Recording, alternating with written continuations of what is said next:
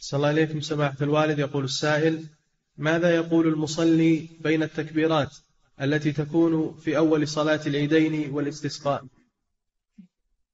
ورد أنه يقول الله أكبر كبيرا والحمد لله كثيرا. سبحان الله بكرة وأصيلا. وصلى الله على نبينا محمد وعلى آله وأصحابه وسلم تسليما كثيرا. نعم.